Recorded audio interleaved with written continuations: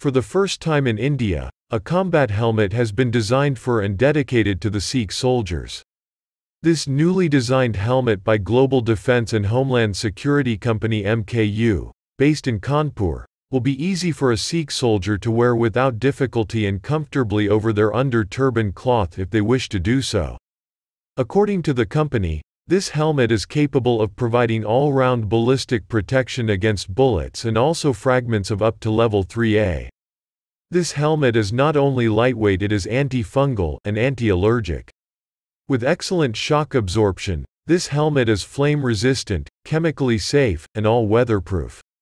The company has dedicated this newly designed helmet, model KAVROSCH 111T, to the spirit of valor that Sikh soldiers have embodied for generations only in India but overseas too. The Kanpur-based company has executed one of the largest helmet contracts, for 1.59 lakh ballistic helmets, for India's Ministry of Defence. Sikh youth have traditionally chosen to serve in the armed forces and central police and paramilitary forces in huge numbers. And based on the information available in the public domain, the largest number of Sikh personnel in uniform serves in the Indian Army.